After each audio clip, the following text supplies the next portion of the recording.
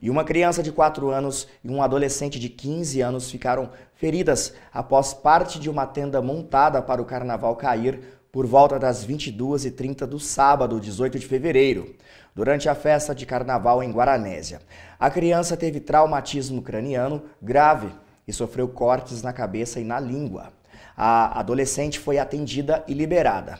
A festividade ocorria na Praça Dona Sinhá, onde parte do teto da tenda cedeu devido à forte chuva que caiu na região na noite do sábado e atingiu a criança e a adolescente. Elas foram socorridas e levadas para o pronto-socorro de Guaranésia.